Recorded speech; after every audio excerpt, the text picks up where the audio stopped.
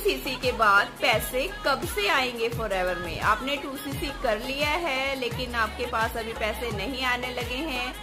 और यही क्वेश्चन आपके माइंड में भी है और आप अपने अप्लाइन से या तो अच्छे से क्लियर कीजिए कि टू सी अगर आप कर लेते हो, पहले ही क्लियर कर लीजिए कि टू सी के बाद पैसे कब से आएँगे? भाई टू सी के बाद पैसे तभी आएँगे जब आप कंपनी को टर्नओवर जनरेट करके दोगे।